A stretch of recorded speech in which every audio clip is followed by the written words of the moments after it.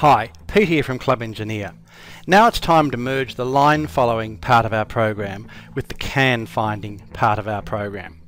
But before we get started, let's have a look at the completed program. I've laid out a reasonably complicated course. The robot starts and it comfortably follows a sweeping bend. It gets round the square corner bend it gets round the sharp angular corner bend. It passes over the hairpin turn. It detects the silver at the edge of the chemical spill, moves to the centre of the chemical spill and starts searching for the can.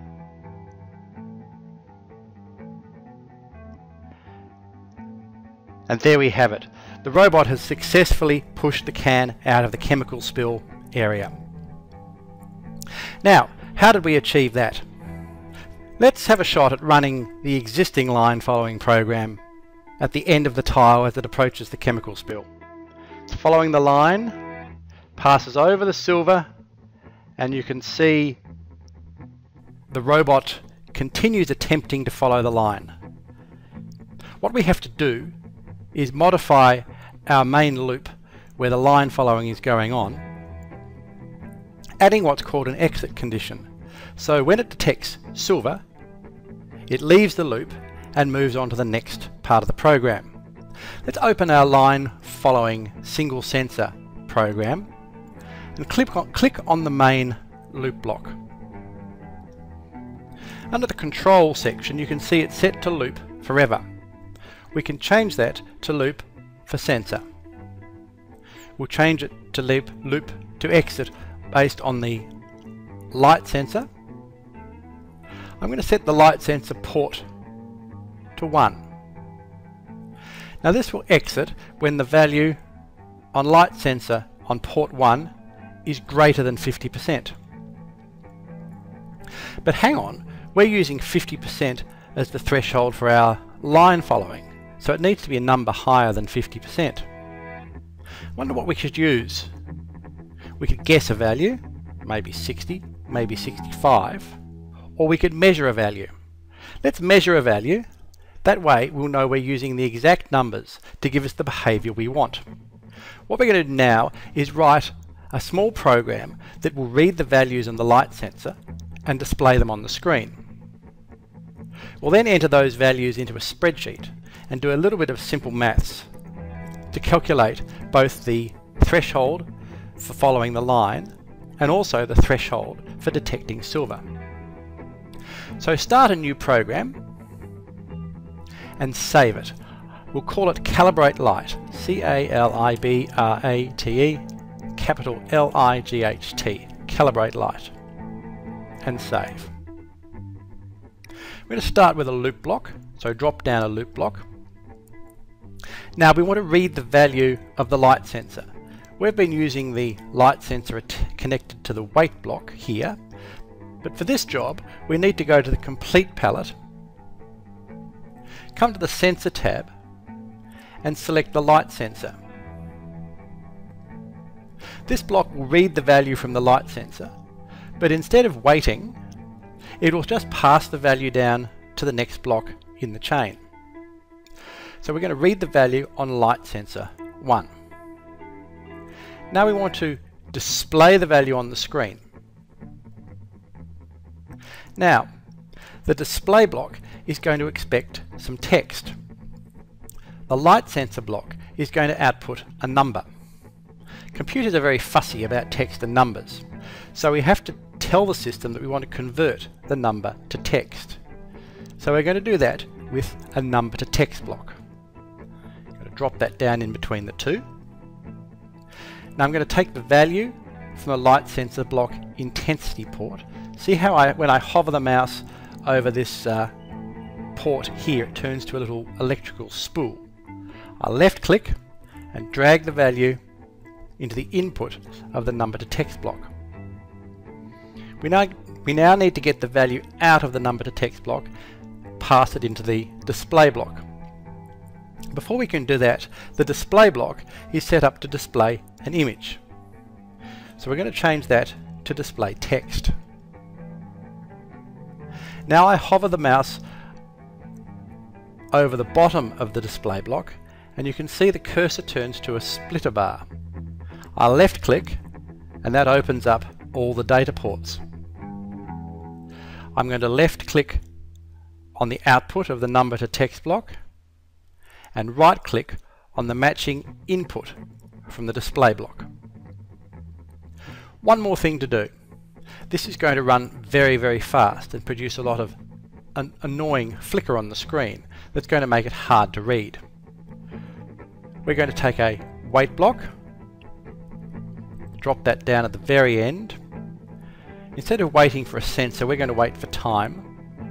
We're going to wait for 0.1 of a second. So we're going to compile, download and run and we'll see what we've got. I'm going to hold the robot over the black tile now and you can see that it's reading 44. I move the number over the white part of a tile now and you can see it's reading 68. I move the robot over the silver and you can see it's reading 77. Now we need to take those values and do the maths on them. So I'm going to go to my browser and go to Google Docs. You can use any spreadsheet tool you choose. Excel, OpenOffice, or my favourite, Google Docs. If you're competing in RoboCup, however, Google Docs may not be the best choice, as it probably requires an internet connection. You might rather use Excel or OpenOffice. It doesn't matter, the principles are the same. So with Google Docs, I'm going to click on Create Spreadsheet. As always, I'm going to give it a good name, and the way to do that in Google Docs is File, Rename. I'm going to call it Calibrate Light. Calibrate Light Sensor, and click OK. So we're going to set the, set the spreadsheet up with the necessary cells. In cell A2, I'm going to type the words sensor space 1 sensor, 1, and a semicolon, or should I say a full colon. In column B, or should I say cell B1, I'm going to type black. In cell D1, I'm going to type white. And in cell F1, I'm going to type silver.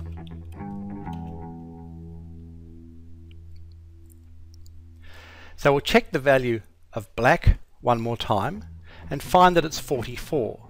So in cell B2 I'm going to enter the number 44.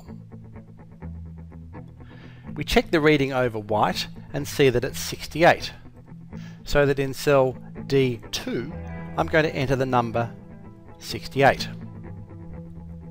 Finally, we check the value over silver and I see that it's 77. So in cell F2, we enter 77. We have a couple more things to do.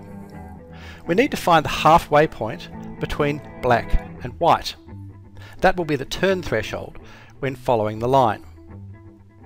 The maths for the halfway point between two numbers, or the average of, the two, of two numbers, is to add the numbers together and then divide by 2. Or add the numbers together and divide by the count of the numbers, which in this case of course is 2. Now, to use a spreadsheet for this, we're going to tell the spreadsheet we want to enter a formula. And I do that by typing the equals character. Because of order of precedence, I then need to open some brackets. I'm going to click on cell B2 and the spreadsheet tool automatically enters the text B2 in the cell where we're entering the formula. I type the plus character and now I click on the cell D2 and the spreadsheet tool automatically enters D2. I close the brackets I type the divided by symbol, which is the forward slash, which is underneath the question mark or over near the shift key. I enter the number 2 and then I hit enter. The spreadsheet has done the maths for us. The halfway point between 44 or black and 68 and white is 56. Now we need to get the same formula in cell E2. Now we could just retype the formula, but spreadsheets are very clever about copying formulas. They use something called relative cell addressing.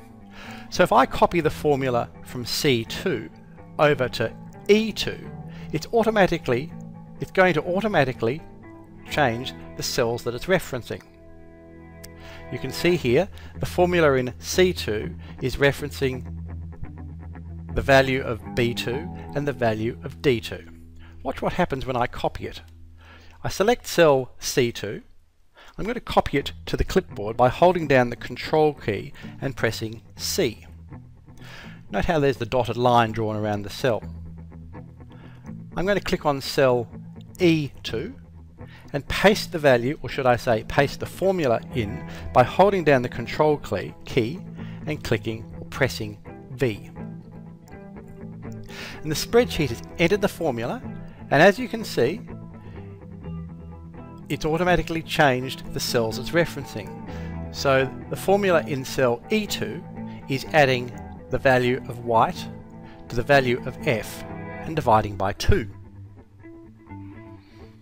Now, you can see that that's not a whole number. In fact, it's a decimal. So let's tidy that up by rounding this value to zero decimal places. I do that by selecting cell E2 and clicking the Decrease Decimal Places button. Now in, cell, in Excel and OpenOffice there might be a different way of doing this.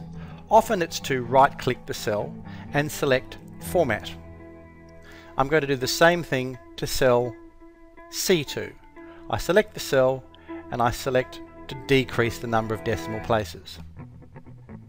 Couple more things I'd like to do.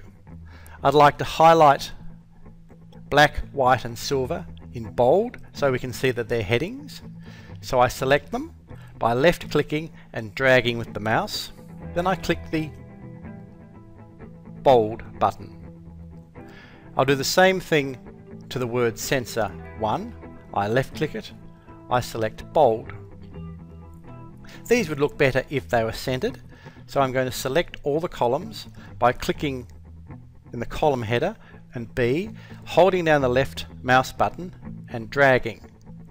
I then go to select the alignment option and click center. Good. Now all that remains to be done is to enter the value 73 is our threshold between white and silver. So I'm going to minimize Google Docs, go back to our line follow program, and in the loop block, we're going to loop until the light sensor reads 73. I'm going to compile, download and run that and we'll test the program. Idea. you can see it's still misbehaving. It's still attempting to follow the line. Well that was frustrating. All this work and we don't appear to have made any progress. But I assure you we have. You have a shot at implementing both the calibration program and uh, coding up the spreadsheet to calculate the turn thresholds. And then we'll return in the next talk through and put the pieces together so that the line following program indeed exits when it sees silver. Good luck with both your calibration program and the calibration spreadsheet.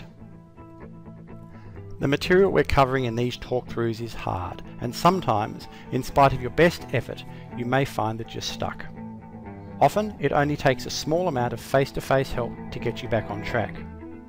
If you think you'd benefit from face-to-face -face help, then open your web browser and type clubengineer.org slash help. You'll see a list of times and places where face-to-face -face help is available. At these sessions, you'll get all the help you need to get back on track. You may also meet like-minded young engineers such as yourself for collaborating on projects down the track. Face-to-face -face sessions are run over the school holidays and after school during term time. They're available for all ages from years 5 to year 12. We also run face-to-face -face sessions for teachers and mentors. We'd love to meet you at one of these sessions and learn what you have been building.